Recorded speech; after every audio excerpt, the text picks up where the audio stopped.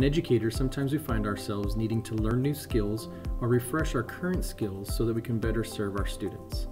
I'm going to walk you through my experience of obtaining the Microsoft Innovative Educator Certificate, and I'm going to share some tips and some ideas that I've learned along the way in regards to self directed learning.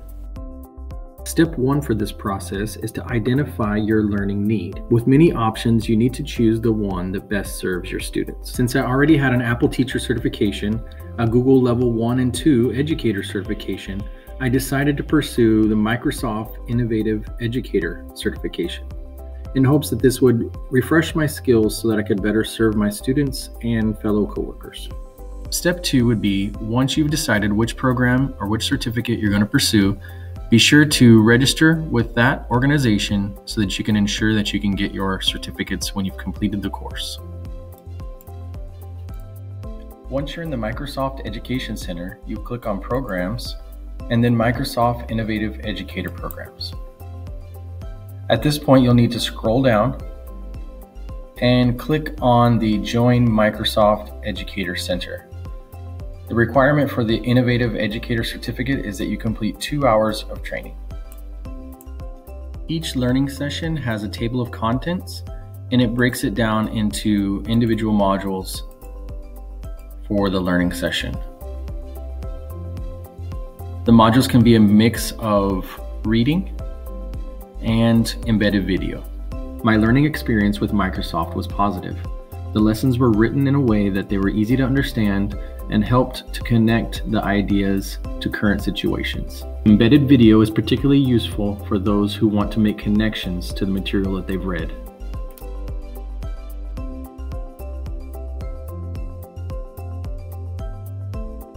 The Office 365 Apps in the Classroom session will help you understand the difference between remote learning and online learning. It will help you consider the things that you need to do to create a good remote learning plan help you connect with your students, establish routines, and create workspaces that foster learning. It also will help you to consider things to incorporate like school traditions and other aspects of a normal classroom. You'll learn about the types of teams you will need in your remote learning experience. You will also look at methods for creating pre-recorded lessons. You'll learn how to use Stream to manage and share your videos with students. You'll also understand the types of assessments available in remote learning. It'll go over the OneNote class notebook to show you how to share resources with students as well as evaluate their understanding. You'll learn how to use Flipgrid to stay connected with your students asynchronously.